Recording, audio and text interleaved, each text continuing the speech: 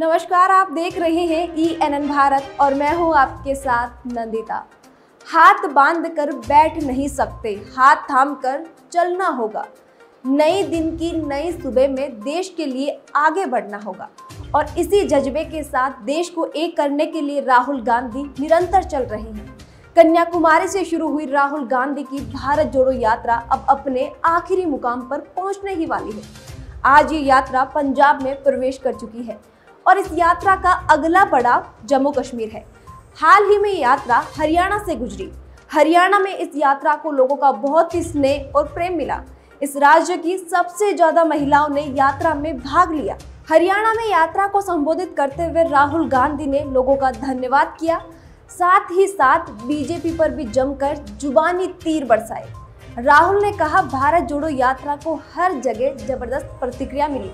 उन्होंने कहा, ये यात्रा भय, नफरत, महँगाई और बेरोजगारी के खिलाफ है।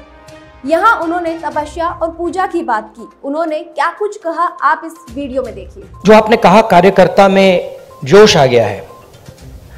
ये तपस्या का संगठन है। इसको अगर आप तपस्या में लगाते हैं तो इसकी एनर्जी बढ़ती है। बीजेपी पूजा का संगठन है। उसको अगर आप पूजा में लगाएँगे, उसमें स्ट्रेंथ आती है। अब बीजेपी अब पूजा दो तरीके की होती है। धन की बात कर रहा हूँ। पूजा नॉर्मली होती है कि भाई, मैं भगवान के पास जाता हूँ और मैं उनसे कुछ माँगता हूँ। मगर इनिशिएटिव जो पूजा करता है, उसका होता है। ठीक है? आरएसएस की पूजा अलग है।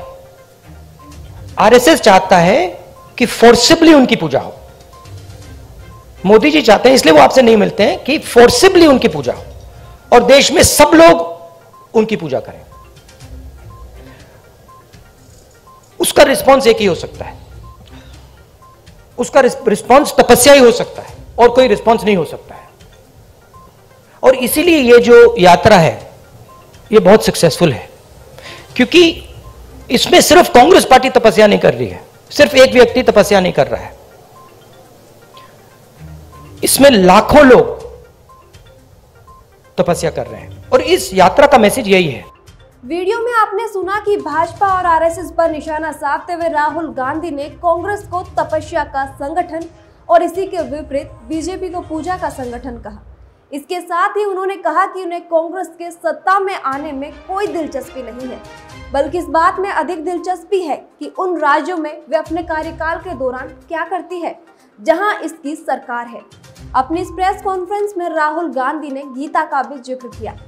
राहुल ने कहा, जब अर्जुन मछली की आँख पर निशाना लगा रहे थे तो उन्होंने ये नहीं कहा कि निशाना लगाने के बाद वो क्या करेंगे, क्योंकि गीता में लिखा है कि कर्म करो, फल की चिंता मत करो। और वह खुद भी इस बात को ही फॉलो कर रही हैं। जब मीडिया ने राहुल से यात्रा के उद्देश्य के बारे में पूछा तो राहुल ने कहा कि इस यात्रा से उनकी पार्टी की संस्कृति में बदलाव आया है। वैसे आपको बता दें कि ये बदलाव जमीनी स्तर पर भी कांग्रेस पार्टी में देखने को मिला है।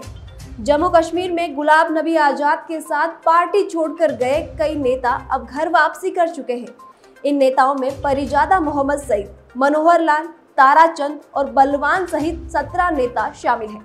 हमेशा धर्म को सर्वोपरि रखने वाले आरएसएस को आड़े हाथों लेते हुए राहुल ने कहा कि अब मैं समझ गया हूँ कि ये लड़ाई, राजनीतिक लड़ाई नहीं है।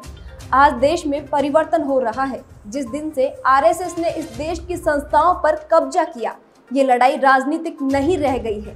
ये अब एक और लड़ाई है। आप इसे विचारधारा या धर्म की लड़ाई कह सकते हैं। लेकिन ये अब राजनीतिक लड़ाई नहीं है और कांग्रेस एक तपस्या का संगठन है, जो इस लड़ाई के लिए पूरी तरह से तैयार है। वहीं बेरोजगारी की समस्या को हल करने के लिए राहुल गांधी ने एक प्लान भी बताया। उन्होंने कहा कि जब हम देश में दूसरी हरित क्रांति लेकर आएँगे तो कृषि को बढ़ावा देंगे फ़ूड प्रोसेसिंग फैक्ट्रियों के जाल बिछाएँगे इससे करोड़ों लोगों को रोज़गार मिलेगा। राहुल गांधी के इन विचारों और भारत जोड़ो यात्रा की सफलता पर आपका क्या कहना है? हमें कमेंट करके ज़रूर बताइए। इसी तरह की राजनीति से जुड़ी खबरें सबसे पहले देखने के लिए ईएनएन भारत को सब्सक्राइब करें। नमस्कार।